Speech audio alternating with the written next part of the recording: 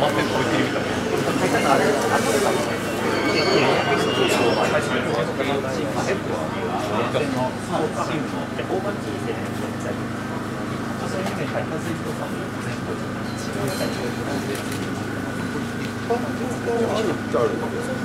くなしでも専用です。すべてワッチになります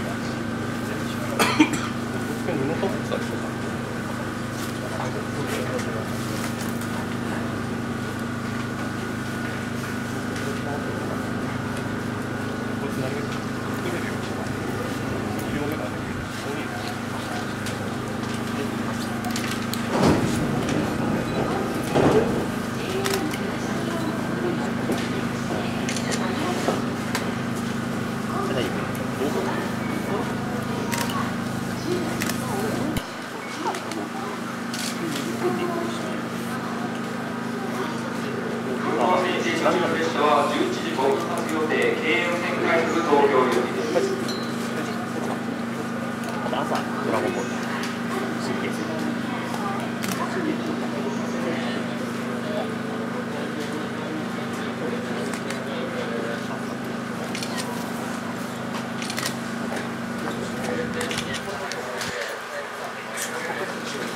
取れるよ。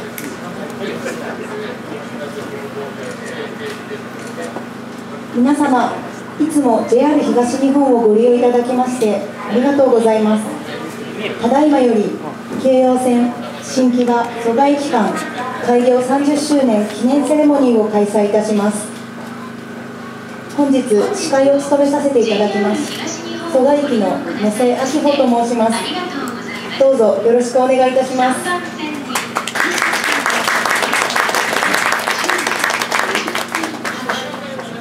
1988年12月1日に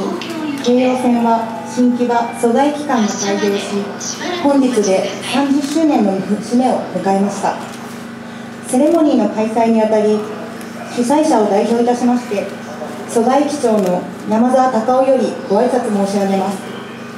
山澤駅長よろしくお願いいたしますおはようございます。そこ駅長の山澤です。えー京葉線は1988年12月1日に新木場蘇我間で開業してちょうど今日30年を迎えることができました。これは日頃からご利用されるお客様のおかげで迎えることができました。あの今回千葉支社としてはその感謝の気持ちを込めまして記念の列車を運行することとさせていただきます。えー車内には沿線の皆皆様からのメッセージまた京葉線で働く社員からの感謝のメッセージまた京葉線の歴史についてを掲示させていただいておりますそれその他にもあの京葉線のヘッドマークとして社員からの発案のもとデザインしたヘッドマークをつけて、えー来年2月末まで約3ヶ月間の運行をさせていただきます。京葉線は開業当時総武線に次ぐ首都圏の大動脈として期待されました。ただ開業後は風に弱い線区として皆様に多々ご迷惑をおかけすることもありました。最近では暴風策など改善はされておりますがまだまだ台風や低気圧による強風の影響でご迷惑をかけることがまだ発生させております。あのまあそういう中で安全安定性を第一に考えその中で皆様に安定した京葉線を提供できるようにこれからも改善を進めていく所存でございます。で近年におきましては京葉線内にあのベイサイドラインプロジェクトプロジェクトというものを発足させてお客様に愛されるまた進化する毎日京葉線というコンセプトワードをもとに日々お客様のためにまた沿線価値の向上魅力づくりに努めております。続き皆様には京葉線をご利用いただけることをお願いしまして私の挨拶とさせていただきます。本日はありがとうございました。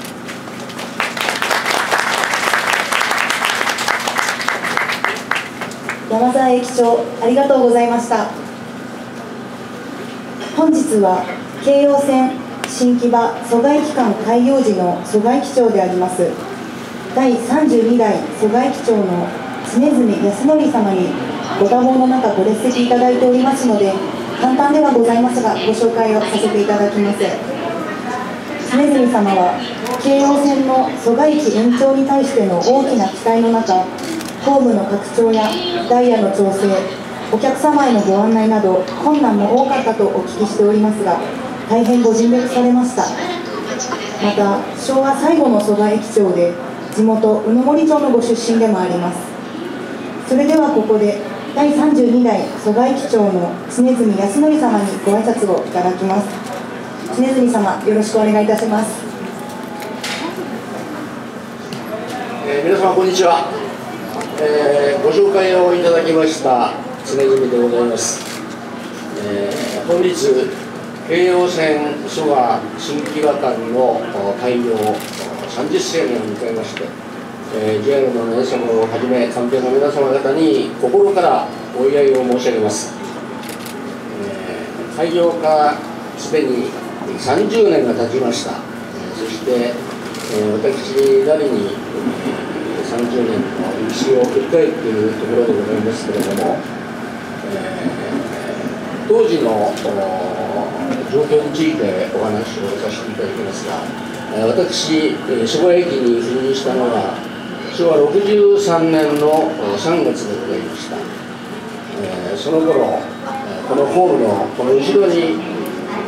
乗り換え橋がございますけれども、このど真ん中に大きなクレーンが立っておりまして乗り換え橋の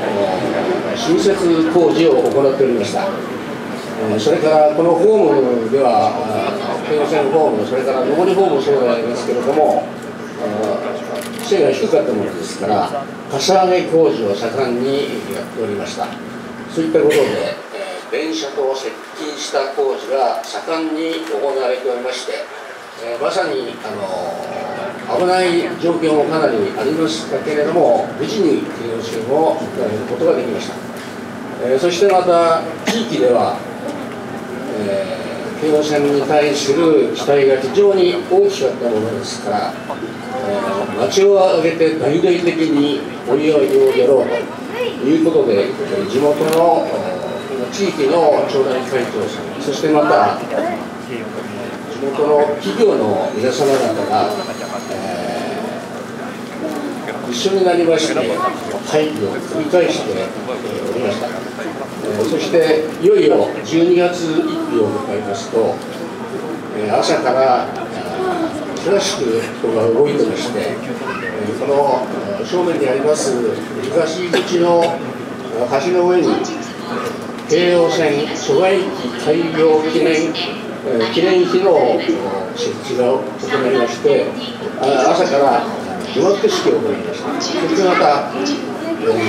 このホームでは地元そばの小学校のご提起会によって当時の、千葉の岩手千葉県の沼田知事そして、松井、千葉市長そして、えー、JR からは、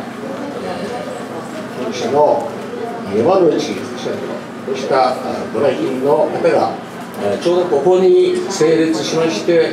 テーブカットを行ったわけでございます、え、そして出発式も行いました、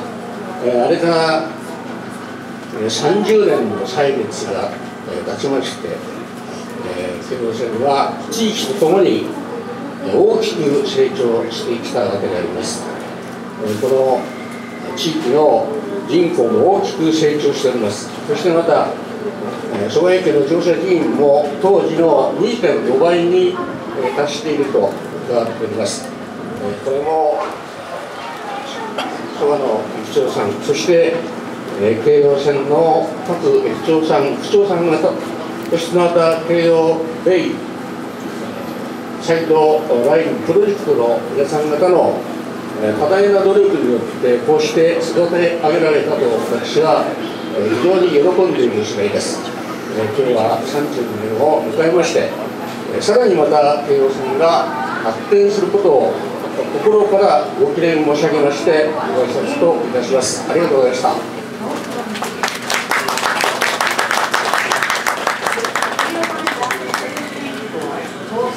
常住様ありがとうございました。ここで常住様へヘッドマークのレプリカを贈呈いたします。常住様山沢駅長前へお進みください。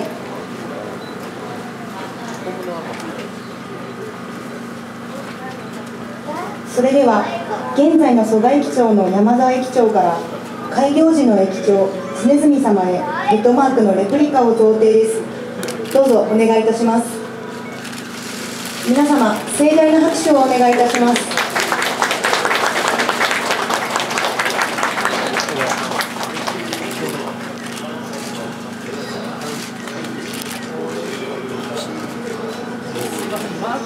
混ぜていただきますこちらに出演お願いいたしますすいませんお待たせいたしました。3番線から京葉線、東京行き、まもなく発車いたします。変わりましたら声かけていただいて結構です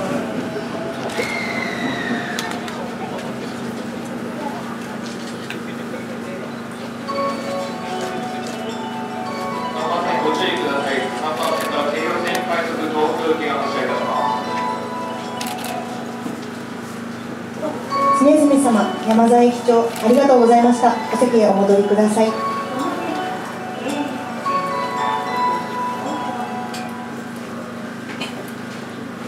番線ドアが閉まりますご注意ください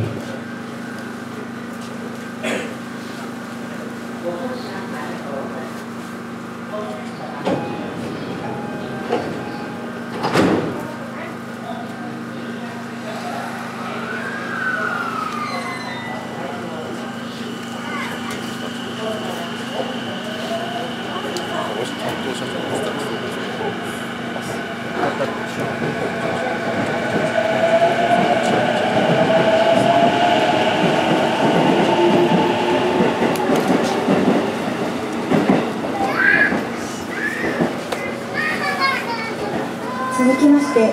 京葉線のこれまでの歴史や京葉ベイサイドラインプロジェクトのご紹介をさせていただきます。それでは新習志野駅の関戸さんよろしくお願いいたします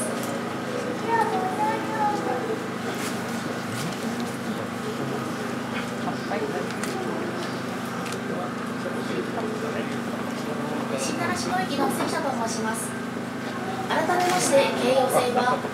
新木場蘇我駅間開業30周年を迎えることができました。ご利用のお客様や沿線にお住まいのお客様のおかげでございます。ありがとうございます。ここで京葉線の歴史や京葉ベイサイドラインプロジェクトの紹介をさせていただきます。京葉線は1986年3月3日西船橋千葉港駅間が開業しそのよその2年後1988年12月1日。新木場蘇我駅間が開業しました。新しく新木場葛西臨海公園舞浜新浦安市川塩浜二俣新町が開業しました。1990年には八丁堀越中島石尾駅が開業し東京蘇我間が全線開業いたしました。そして時は流れ2015年全線開業25周年を迎えたことをきっかけに京葉ベイサイドラインプロジェクトが立ち上げられました。以降進化する毎日京葉線をコンセプトワードとしまして沿線価値を向上し沿線にお住まいの方や沿線に訪れる方から選ばれ続ける京葉線を目指してさまざまな施策に取り組んでおります。これまでの主な取り組みとしましては京葉線の情報発信駅改良工事京葉チーム6との連携地域の皆様との交流各イベントへの参加です。情報発信では Facebook ページの開設や京葉線沿線情報アプリのリリース。ルルブ京葉線の発行をしました。Facebook では各駅や各イベントの情報を発信しておりますので皆様ぜひチェックしてください。駅開業工事ではえ蘇我駅前浜駅葛西臨海公園駅がリニューアルオープンし新たにピラソガホテルドリームゲート舞浜アネックスが開業しました。京葉線沿線のスポーツチーム京葉チーム6との連携ではラッピングトレインの運転とえお披露目式典が開催しました。ラッピングトレインは11月末まで運行しておりましたが皆様ご覧いただけましたかそれらの方はとてもラッキーだと思いますまた地域の皆様との交流イベント参加ではワクワク電車祭り祭りへの参加や新奈良市駅は最寄り駅の千葉工業大学通信大学教授の皆様とのコラボにより新奈良市の駅と海浜幕張駅にて千葉支社初のフラッシュモブイベントを行いました千葉工大の皆様とはまたご縁がありましてデザイン学科の皆様と共同し新奈良市の駅の乗り換え案内サインデートの設置をしました。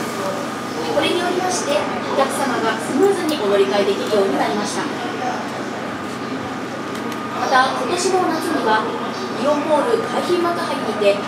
夏の終わりの思い出作り親子で楽しむドレインフェスタを開催し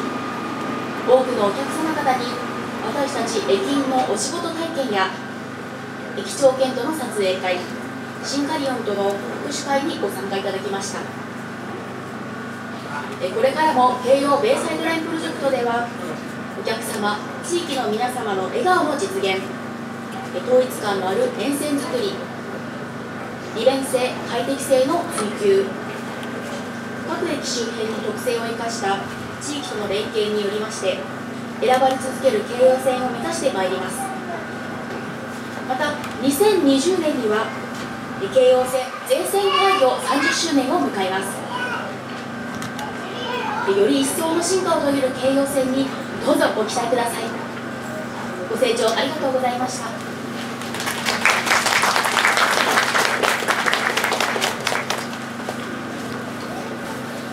関田さんありがとうございました。引き続き4番線にて山沢蘇我駅長が出発の合図を行います。また係員がご案内いたしますので報道関係の方はご移動をお願いいたします。